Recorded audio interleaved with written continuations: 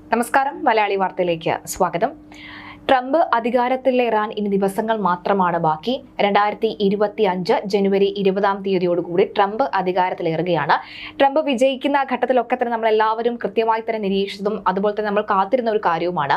ഈ യുദ്ധത്തിന്റെ ഒരു അവസാനം ഹമാസ് ഇസ്രായേൽ അല്ലെങ്കിൽ ഇസ്രായേൽ ഇറാൻ അങ്ങനെയൊക്കെ നിൽക്കുന്ന യുദ്ധ പശ്ചാത്തലത്തിന് ഒരു അറുതി വരാനുള്ള സാഹചര്യമുണ്ട് എന്ന് വ്യക്തമാക്കുന്നതായിരുന്നു. അങ്ങനെ വ്യക്തമാക്കുന്നതായിരുന്നു സത്യത്തിൽ ട്രംപിന്റെ ഒരു സംഭാഷണമൊക്കെയും.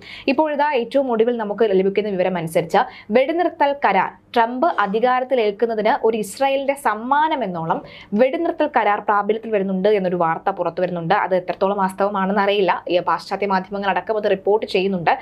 ഇതിന്റെ മുന്നോടിയായി നമുക്ക് മനസ്സിലാക്കാൻ സാധിക്കുന്നത് ഈ ഇസ്രായേൽ മന്ത്രിസഭയിലുള്ള ഒരു മന്ത്രിസഭാ അംഗമായിട്ടുള്ള റോൺ ഡമർ അമേരിക്കയിലെത്തി ഈ ട്രംപിന്റെ മറ്റ് മന്ത്രിസഭാംഗങ്ങളെ കണ്ടു എന്നാണ് മനസ്സിലാകുന്നത്. നമ്മൾ കഴിഞ്ഞ ദിവസം പറഞ്ഞിരുന്നു ഇപ്പൊ ഭയങ്കരമായിട്ട് ചർച്ചകൾക്ക് പ്രാധാന്യം ചർച്ചകൾക്ക് പ്രാധാന്യം. അതായത് നയതന്ത്ര തലത്തിലുള്ള ഒരു ആ, ചർച്ചകൾക്ക് പ്രാധാന്യം നൽകുന്നു. അതായത് വെടിനിർത്തൽ കരാറിലേക്ക് കാര്യങ്ങൾ എത്തുന്നു എന്ന് വേണമെങ്കിൽ പറയാം.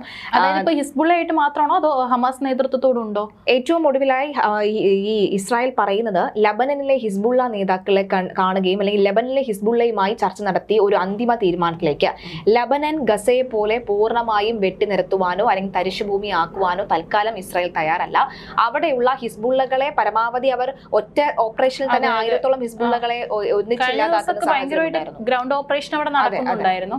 അപ്പോൾ അതിന്റെ ഭാഗമായിട്ടായിരിക്കും ഭാഗമായിട്ട് ലബനനിലെ വെടിനിർത്തൽ കരാറിന് അല്ലെങ്കിൽ വെടിനിർത്തൽ ചർച്ചകൾ വെടിനിർത്തൽ ഉണ്ടാകാനുള്ള സാധ്യത വളരെ കൂടുതലാണെന്ന് വ്യക്തമാക്കിക്കൊണ്ട് ഈ ട്രംപ് ജനുവരി ഇരുപതിന് അധി- അധികാരത്തിലേക്കുമ്പോൾ ഇസ്രയേലിൽ നിന്നും ട്രംപിന് ഒരു സംഭാന സമ്മാനം എന്നോളമാണ് ഇതെന്ന് പറയുന്നു. കാരണം ട്രംപ് അധികാരത്തിലേറി കഴിഞ്ഞാൽ ലബനനിൽ ഉണ്ടാകുന്ന ഈ ഒരു വെടിനിർത്തൽ ചർച്ച ലോക നയതന്ത്രങ്ങളിൽ തന്നെ ഒരു മാറ്റം സംഭവിക്കാനുള്ള സാധ്യതയുണ്ട് എന്ന് വ്യക്തമാകുന്നതാണ്. അങ്ങതാണ് ഏറ്റവും ഒടുവിൽ നമുക്ക് ലഭിക്കുന്ന വിവരം. അതൊരു ശുഭകരമായിട്ടുള്ള ഒരു വാർത്തയാണ്. കാരണം ഒരു വെടിനിർത്തൽ ചർച്ച വീണ്ടും നമ്മൾ ട്രംപ് ജയിച്ചതിന് ശേഷമാണ് വീണ്ടും കുറച്ച് ചർച്ചകൾക്ക് പ്രാധാന്യം നൽകിയിട്ടുണ്ടായത്. ഏറ്റവും കൂടുതലും പ്രാധാന്യമുള്ളത് എന്തുകൊണ്ടെന്ന് വെച്ച് കഴിഞ്ഞാൽ ഇസ്രായേൽ ആദ്യമായിട്ടാണ് വെടിനിർത്തൽ ചർച്ചയ്ക്ക് ഞങ്ങൾ തയ്യാറാണെന്നുള്ള രീതിയിലേക്ക് മുൻകൈ എടുത്ത് മുന്നോട്ട് വരുന്നത്. സാധാരണഗതിയിൽ ഖത്തർ ആയിക്കോട്ടെ ഫ്രാൻസ് ആയിക്കോട്ടെ ഒരു വെടിനിർത്തൽ കരാറിന് വരുമ്പോൾ ഇരു രാജ്യങ്ങളെയും ഇങ്ങോട്ടേക്ക് വിളിക്കുകയാണ് ചെയ്യുന്നത്. പക്ഷേ ഇസ്രായേൽ തന്നെ ഇപ്പോൾ മുൻകൈ എടുത്ത് ഞങ്ങൾ വെടിനിർത്തൽ നിർത്തലിന് തയ്യാറാണെന്നുള്ള രീതിയിലേക്ക് കാര്യങ്ങൾ കൊണ്ടുവരുമ്പോഴാണ് ഇവിടെ ഒരു പ്രാധാന്യം വരുന്നത് എന്നാണ് വ്യക്തമാകുന്നത്. അത് മാത്രമല്ല മറ്റൊരു വാർത്ത കൂടെ വന്നിരുന്നു. അതായത് തുർക്കി പ്രസിഡന്റ് ആയിട്ടുള്ള എർദോഗാൻ ആ. ഇപ്പോൾ ഇസ്രായേലുമായിട്ട് അവർ കുറെ കാലമായിട്ട് ഇസ്രായേലിനെതിരെ സംസാരിച്ചുകൊണ്ടിരിക്കുകയാണ്. അത് ഒളിച്ചും പാത്തും ഒക്കെ തന്നെ ഇസ്രായേലിനോടുള്ള ഒരു ദേഷ്യം അല്ലെങ്കിൽ ഇസ്രായേലിനോടുള്ള ഒരു കലിപ്പൊക്കെ അവർ തീർത്തുകൊണ്ടിരിക്കുന്നുണ്ട്. പക്ഷെ ഇന്ന് അത് മാധ്യമങ്ങൾക്ക് മുൻപിൽ തുർക്കി പ്രസിഡന്റ് ആയിട്ടുള്ള എർദോഗൻ അത് പറഞ്ഞിരിക്കുകയാണ്. കർശനമായ നിലപാടാണ് എടുത്തിരിക്കുന്നത്. മറ്റൊന്നല്ല ഗാസയിലെ ഒരു ആക്രമണം തുടർന്നുകൊണ്ടിരിക്കുക. അതായത് അവിടെയുള്ള സാധാരണക്കാരടക്കം കൊല്ലപ്പെടുന്ന ഒരു അവസ്ഥയിലേക്ക് എത്തി നിൽക്കുന്ന സാഹചര്യത്തിലാണ് ഇപ്പോൾ ഇസ്രായേലിനെതിരെ ഒരു സമ്പൂർണ ഉപരോധം നീക്കവുമായിട്ടാണ് തുർക്കി രംഗത്ത് വരുന്നത്. പക്ഷേ ഇത് ഇസ്രായേലിനെ സംബന്ധിച്ച് ഒന്നുമല്ല. കാരണം തുർക്കി ഇത് തുടങ്ങിയിട്ട് കാലങ്ങളായി. ഇസ്രായേൽ അതിനൊന്നും കാര്യമായിട്ടുള്ള ഒരു പരിഗണനയും കൊടുക്കുന്നില്ല.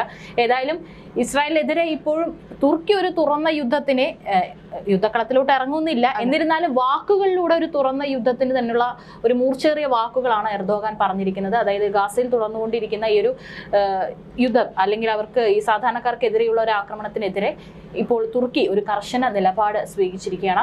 മാത്രമല്ല യു എനിലടക്കം അന്ന് തുർക്കിയൊക്കെ ഇസ്രായേലിനെതിരെയും അതുപോലെ തന്നെ നെതന്യാവിനെതിരെയും കുറ്റങ്ങൾ ചുമത്തുന്ന സമയത്തും തുർക്കി അന്ന് പൂർണ നിലപാട് അവരുടെ ആദ്യമേ.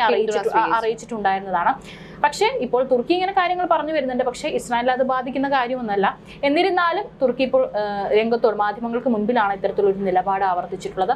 അതുപോലെ തന്നെയാണ് നെതന്യാഹുവിന്റെ മകൻ. യായർ നെതന്യാഹു കഴിഞ്ഞ ദിവസം പറഞ്ഞിട്ടുള്ള ചില കാര്യങ്ങളും ഇപ്പോൾ ഇസ്രായേലിനുള്ളിൽ തന്നെ ഒരു പൊട്ടിത്തെറിക്കും. അതുപോലെ തന്നെ പാശ്ചാത്യ മാധ്യമങ്ങളെല്ലാം അത് വലിയ രീതിയിൽ ചർച്ചയാക്കുന്നുണ്ട്. അത് ശത്രുക്കൾക്കുമുള്ള ഒരു പഴുതായിട്ട് തോന്നുന്നു കാരണം നെതന്യാഹുവിന്റെ മകനാണ് ഇത്തരത്തിൽ അവരുടെ രാജ്യത്ത് അതായത് ഷിൻബത്ത് മൊസാദ് പോലെയുള്ള ഒരു ഏജൻസി തന്നെയാണ് ഷിൻബത്ത് നമുക്കറിയാം. അപ്പോൾ അവർക്കിടയിൽ അവിടെ നെതന്യാവിന്റെ ഭരണകൂടത്തെ താഴെ ഇറക്കാനുള്ള പരിപാടികളും നടക്കും. അല്ലെങ്കിൽ അട്ടിമറിക്കാനുള്ള ശ്രമം സ്വന്തം രാജ്യത്ത് തന്നെ അല്ലെങ്കിൽ നെതന്യാവിന്റെ ഓഫീസ് കേന്ദ്രീകരിച്ചുകൊണ്ട് തന്നെ നടക്കുന്നുണ്ടെന്നാണ് ഇപ്പോൾ മകനായിട്ടുള്ള യായിർ നെതന്യാഹു പറഞ്ഞുകൊണ്ട് രംഗത്ത് വരുന്നത്. അതും ഇപ്പോൾ ഇസ്രായേലിൽ ഒരു ചൂടേറിയ ചർച്ചയാണ്. കാരണം സ്വന്തം മകനാണ് ഇത്തരത്തിൽ പറഞ്ഞുകൊണ്ട് വരുന്നത്.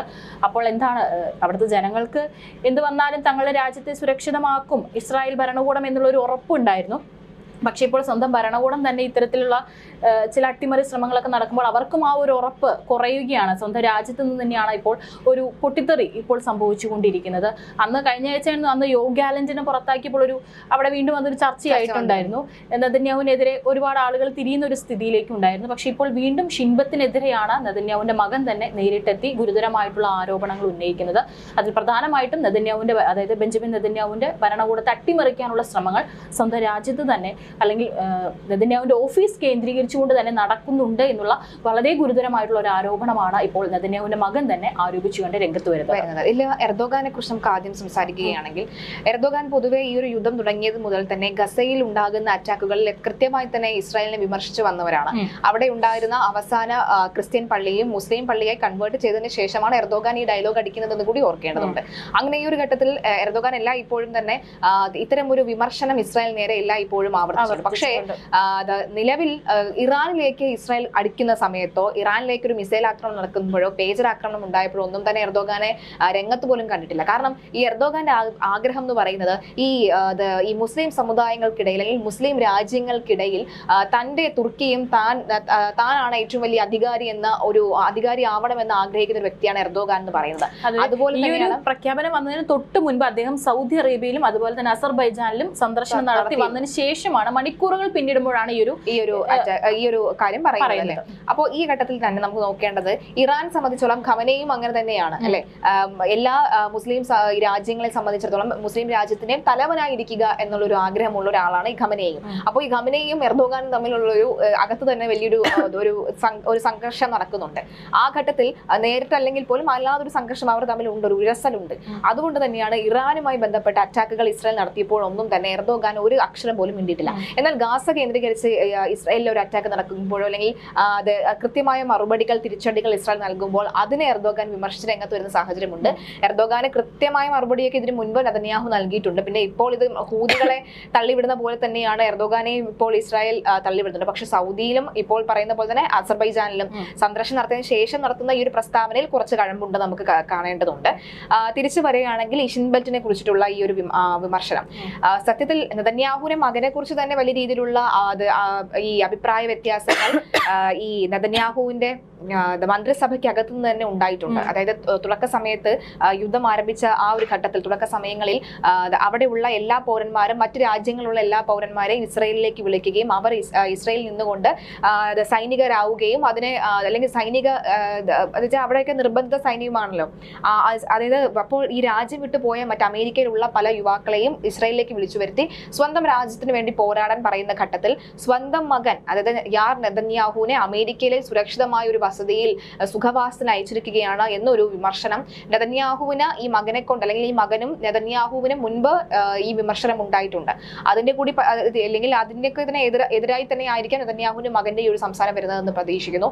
കാരണം മുമ്പ് ആ ഒരു ഘട്ടത്തിൽ കാരണം രൂക്ഷമാകുന്ന സാഹചര്യം ഉണ്ടായിരുന്നു. അതായത് സൈനികർ ഇസ്രായേൽ സൈനികരൊക്കെ തന്നെ ഐ ഡി എഫ് ഈ സൈനികരൊക്കെ തന്നെ കമാൻഡർമാരൊക്കെ തന്നെ കൊല്ലപ്പെടുന്ന സാഹചര്യത്തിലാണ് ഈ യാർ നെതന്യാഹുവിന്റെ ഒരു ചിത്രം പുറത്തു വരുന്നത്. അതായത് അമേരിക്കയിൽ അവധി ആഘോഷിക്കുകയാണെന്നുള്ള രീതിയിൽ പുറത്തു വന്നത്.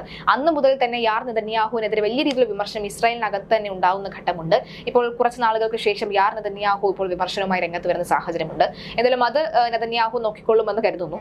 ഈ ഒരു ഇരുപത്തിനാല് മണിക്കൂറിൽ എന്തെങ്കിലും ആക്രമണങ്ങൾ എന്തെങ്കിലും ഉണ്ടായിട്ടുണ്ട്? ഡമാസ്കസ് കേന്ദ്രീകരിച്ച് വലിയ രീതിയിലുള്ള ലബനനിലും അതുപോലെ തന്നെ ഡമാസ്കസ് സിറിയയിലെ ഡമാസ്കസ് കേന്ദ്രീകരിച്ച് വലിയ രീതിയിലുള്ള അറ്റാക്ക് നടക്കുന്നുണ്ടെന്നാണ് വ്യക്തമാകുന്നത്. കാരണം ഈ സിറിയ കേന്ദ്രീകരിച്ചുള്ള അറ്റാക്ക് ഇറാന് കൃത്യമായ മറുപടികൾ ഇപ്പോൾ സിറിയയിലുള്ള ഹിസ്ബുള്ളയുടെ ആ, ഒരു താവളങ്ങൾക്ക് കേന്ദ്രീകരിച്ച് വലിയ രീതിയിലുള്ള അറ്റാക്കുകൾ നടത്താൻ തന്നെയാണ് ഇസ്രായേൽ മുതിരുന്നത് എന്ന് മനസ്സിലാകുന്നു.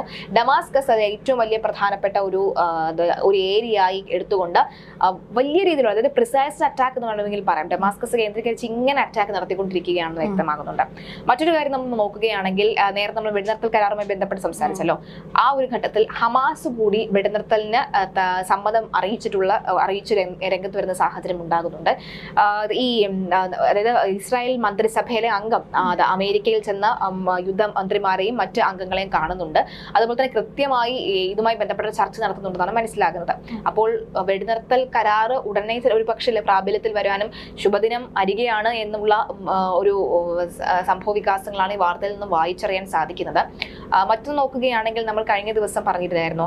ഇനി അവശേഷിക്കുന്ന ഫലസ്തീനികളെ ഒരു ഫലസ്തീൻ രാഷ്ട്രം എങ്ങനെയാണ് അല്ലെങ്കിൽ ഗാസയോട് ഇസ്രായേലിനോടൊപ്പം അവശേഷിക്കുന്ന ഗാസയും കൂട്ടിച്ചേർക്കാനുള്ള സാധ്യതയുണ്ട് എന്ന് പറയുന്നല്ലോ. അവിടെ കൃത്യമായി തന്നെ ഇസ്രായേൽ ഒരു പ്ലാനിങ് നടത്തുന്നുണ്ട്. വരാൻ പോകുന്ന ഗസയെ എങ്ങനെയാണ് ഇനി കൊണ്ടുവരേണ്ടത് നടക്കമുള്ള ഫുൾ നിയന്ത്രണം ഒരു ഓപ്പൺ ജയിൽ പോലെ ഗസയെ മാറ്റിക്കൊണ്ട് മുഴുവൻ നിയന്ത്രണവും ഇസ്രായേലിന്റെ കയ്യിലാക്കിക്കൊണ്ട് എന്നാൽ കൂട്ടിച്ചേർക്കുന്നില്ല. ഇസ്രായേലിന്റെ ഒരു ഭാഗമാക്കുന്നില്ല. മറിച്ച് അവിടെ ഉണ്ടായിരുന്ന ഫലസ്തീനികളെ കൃത്യമായി തന്നെ അവരുടെ ജീവിതത്തിന് മറ്റ് കേടുപാടുകളൊന്നും സംഭവിക്കാതെ എന്നാൽ ഇസ്രായേലിന്റെ കയ്യിൽ ഒരു ചരട് വെച്ചുകൊണ്ട് ഇനി മറ്റ് ഒരു രാജ്യമായി തന്നെ മുന്നോട്ട് പോകാനാണോ അല്ലെങ്കിൽ സ്വതന്ത്ര രാജ്യമാക്കാനാണോ രാഷ്ട്രമാക്കാനാണോ അറിയില്ല. ഇസ്രായേൽ അത്തരം ഒരു പ്ലാനിങ് നടത്തുന്നുണ്ടെന്നുള്ള കൂടെ വാർത്തകൾ പുറത്തു വരുന്നുണ്ട്. ഏതായാലും നമുക്ക് ശുഭകരമായിട്ടുള്ള ഒരു വാർത്തയാണ് ഇന്ന് ഒരു വെടിനിർത്തൽ കരാറിനോട് ഒരു ചെറിയ ഒരു പോസിറ്റീവ് ആയിട്ടുള്ള ഒരു അഭിപ്രായമാണ് ഇപ്പോൾ ഇസ്രായേലിന്റെ ഭാഗത്തു നിന്ന് സംഭവിച്ചിരിക്കുന്നത്. ഏതായാലും എന്തായിരിക്കും സംഭവിക്കുക? ഒരു ട്രംപിനുള്ള ഒരു സമ്മാനമായിട്ട് നെതന്യാഹു ഇത് നൽകുമോ എന്നുള്ളതാണ് എല്ലാവരും ഉറ്റുനോക്കുന്നത്. ഏതായാലും ഇസ്രായേൽ ഇങ്ങനെ ചിന്തിപ്പിക്കാൻ തന്നെ പ്രേരിപ്പിച്ചത് എന്തായാലും നെതൻ ട്രംപ് ആണ് എന്നുള്ളത് നമുക്ക് നൂറ് ശതമാനം ഉറപ്പാണ്. ആ ഒരു മാറ്റങ്ങൾ വരും ദിവസങ്ങളിൽ കാണാം. കാണാൻ സാധിക്കട്ടെ എന്ന് തന്നെ നമുക്കും പ്രതീക്ഷിക്കാം. നമസ്കാരം.